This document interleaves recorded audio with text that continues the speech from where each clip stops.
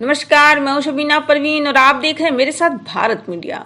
SDM रसरा सहित तीन पर धोखाधड़ी का मुकदमा। कोर्ट के निर्देश पुलिस ने दर्ज किया मुकदमा। जनसूचना में गलत जानकारी देने का आरोप, खबर जनपद बलिया से। जन सूचना में गलत जानकारी देने के आरोप में रसरा एसडीएम सदानंद सरोज सहित तीन पर धोखाधड़ी के आरोप में पुलिस ने मुकदमा दर्ज किया। सदर तहसील के कुठिया सुरई निवासी परशुराम राय ने जन सूचना में गलत जानकारी देने का आरोप लगाते हुए कोर्ट में वाद दाखिल किया था। कोर्ट के निर्देश पर सदर कोतवाली पुलिस ने तत्कालीन तहसीलदार सदानंद सरोज, सर्किल कानून को रणजीत सिंह व लेखपाल तारा राकेश आनंद के खिलाफ मुकदमा दर्ज किया है। कोठिया सुरही निवासी परशुराम राय ने आरोप लगाया कि 9 मार्च 2022 को उप जिलाधिकारी से छह बिंदुओं पर सूचना मांगी थी।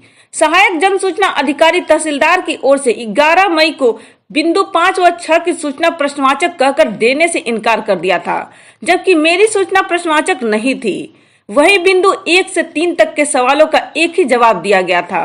तहसीलदार सदर ने सूचना देने से इनकार कर दिया। परशुराम राय ने तहसीलदार सदर पर मानचित्र में मौजूद कुआँ व बोमा निशान को छुपाकर गुमराह करने के उद्देश्य से गलत सूचना देकर आरटीआई एक्ट की अवज्ञा का आरोप लगाया।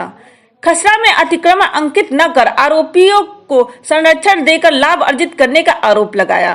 कहा कि उक्त आरोपियों के खिलाफ कार्रवाई के लिए थाने पर शिकायत की गई थी। एसपी से भी शिकायत की गई थी, लेकिन कार्रवाई नहीं की गई। कोतवाली पुलिस के अनुसार कोर्ट के निर्देश पर संबंधित आरोपियों पर मुकदमा दर्ज हुआ है। जाँच के बाद कोर्ट में रिपोर्ट प्रेषित की जाएगी। ऐसी ताज़ा खबरों के लिए बने रहे भारत मीडिया के साथ। भारत मीडिया के लिए बलिया से गौहर खान की रिपोर्ट।